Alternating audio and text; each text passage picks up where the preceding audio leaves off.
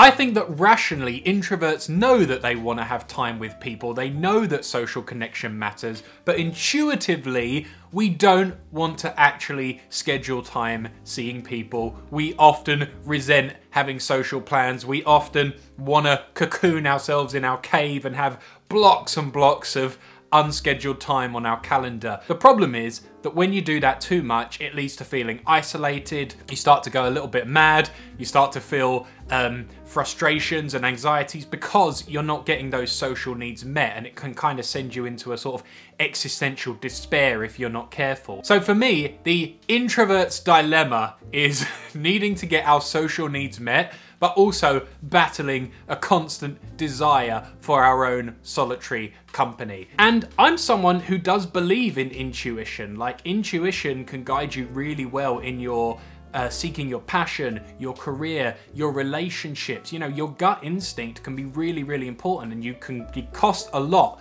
from not listening to it. But in this area, I realized my instinct is just not serving me. It often tells me, it leans me more towards being on my own. It leans me more towards passivity in the realm of social contact. And then I think, God, why haven't I seen that person in a year? Why haven't I connected with that friend? And it's because I've allowed the relationship to get to that place, or maybe we both have because we're both that way. And one big lesson I learned in this area is that I have to trust my memory of the past more than I trust my current instincts. And I know this sounds a bit overly rational thinking about something as simple as seeing your friends, but I am the kind of person who will book something in my calendar and immediately sort of regret and resent that I've now gonna spend that time socializing and I think, oh no, I've got that event coming up. Do I have to go? Do I have to bother going and get ready, get dressed, go out, get on the train, get in a car, go to that event, whatever.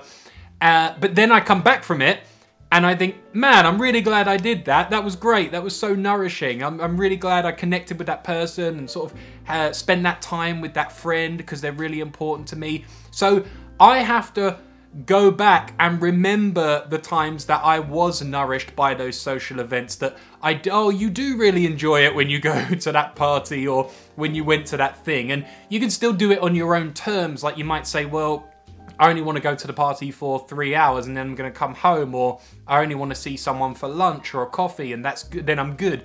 That's all fine, but it's really important to not listen to your instinct to hermit yourself in in that moment if you are naturally introverted and inclined that way, like I am, to sort of hide into your cave, then I think it's really good to just put aside instinct in those moments Schedule like a couple of social events in your week, kind of spread apart, and just know that after those events, you are going to feel rejuvenated. You are going to feel more connected. You are going to feel like, ah, oh, I have those solid friendships in my life. That makes me feel good. That makes me feel grounded. And then it makes all the, you know, the times when you're going to go back to do that solo time is going to be more pleasurable. You're going to feel better.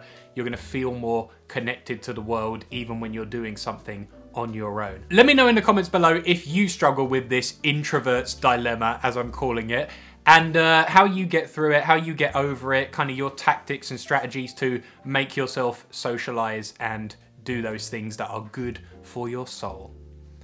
I'll see you soon.